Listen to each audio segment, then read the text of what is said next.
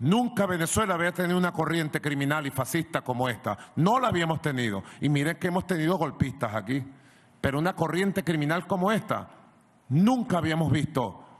Y detrás, millones de dólares de Elon Musk, del narcotráfico colombiano, del gobierno de Estados Unidos y la internacional fascista con Milei, Bolsonaro, Vox, todos detrás.